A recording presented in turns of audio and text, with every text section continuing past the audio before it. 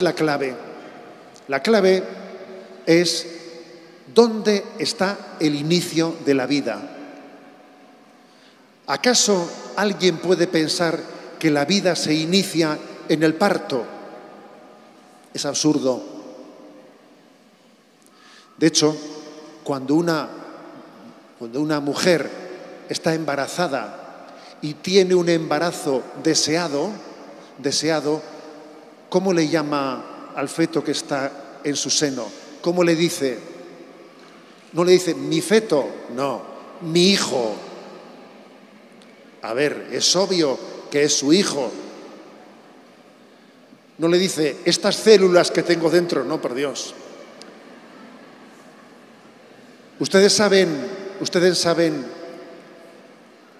que en España existió, existió una red social, igual que existe el Twitter, el Instagram, una red social que se llamaba el 20, 20, ¿no? Y entonces unos jóvenes por vida hicieron una campaña diciendo, es un tú en ti. Claro, ¿qué es eso que llevas dentro? Es un tú en ti. Es un tú distinto a ti, que lo llevas dentro de ti. Es un tú en ti. ¿eh? Claro que es obvio que es un tú en ti, que tiene su propia identidad, que es Él.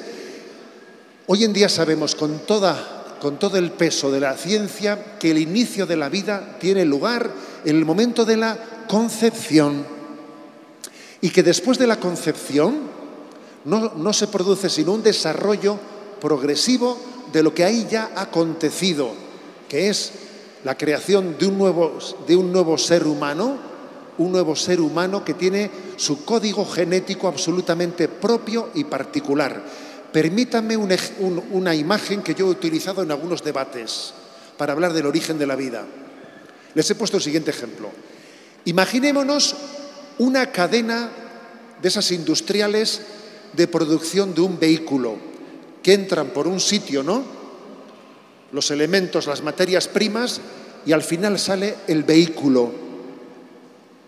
Y dice uno, ¿en qué momento se le puede llamar carro? Ustedes llaman carro, ¿no?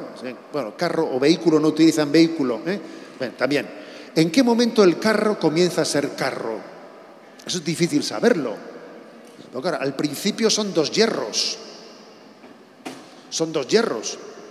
Más adelante le ponen el motor, pero más adelante le ponen las ruedas.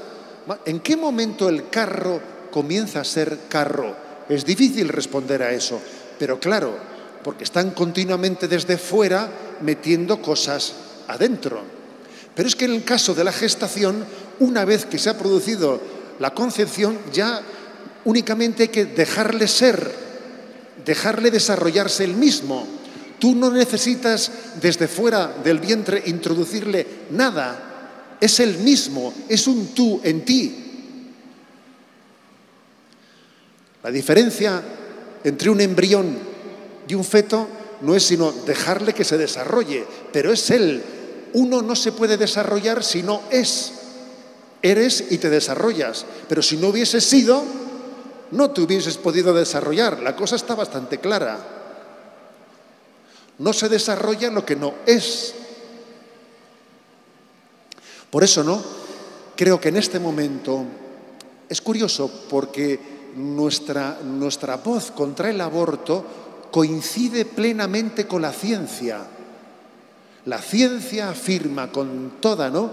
Con toda claridad que el inicio de la vida está en la concepción y no en otro momento.